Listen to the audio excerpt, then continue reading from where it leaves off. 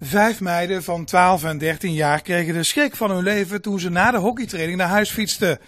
Plotseling kwam zo'n soort horrorclown hen tegemoet. Ik vind het echt heel eng, want ook lang, ik fiets altijd op zwart-wit en dan fiets ik soms langs het bos. De horrorclown gaf de meiden een indringende blik, maar hij deed verder niks. Toch besloten zowel hockeyvereniging Zwart-Wit als de nabijgelegen basisschool Laurentius om kinderen te waarschuwen. Nou, naar aanleiding van een aantal kinderen in groep 18 met spannende verhalen over een clown binnenkwamen, hebben mijn collega's gemeend het er goed aan te doen uh, ouders te informeren. Om eigenlijk een beetje de spanning eraf te halen. Ik zou zeggen, hup meteen hard aanpakken, want anders wordt het één grote hype hier in Nederland. Nee, dat mag voor mij echt niet. Kom op, afblijven van kinderen.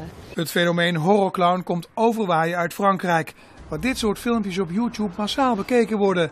En ook Breda lijkt inmiddels in de band van de horrorclown. Als ik nu tegen zou komen, dan weet ik in elk geval wat, wat er aan de hand is.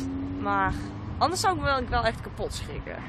De eerste en ook enige keer dat er horrorclown gezien is, dat was hier aan de Galderse weg in Breda. De grote vraag is, was het nou een echte clown of een fantasieclown? Ik geloof het wel, ja.